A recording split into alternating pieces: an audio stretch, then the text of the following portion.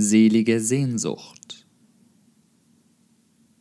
Sagt es niemand, nur den Weisen, weil die Menge gleich verhöhnet.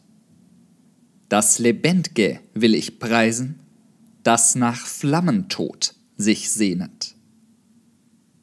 In der Liebesnächte Kühlung, die dich zeugte, wo du zeugtest, überfällt dich fremde Fühlung, wenn die stille Kerze leuchtet.